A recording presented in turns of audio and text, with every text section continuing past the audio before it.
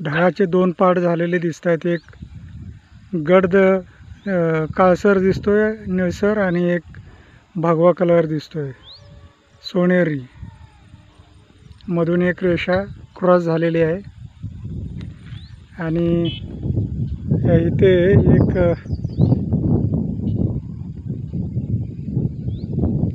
आकृती तयार झालेली आहे ढगाची.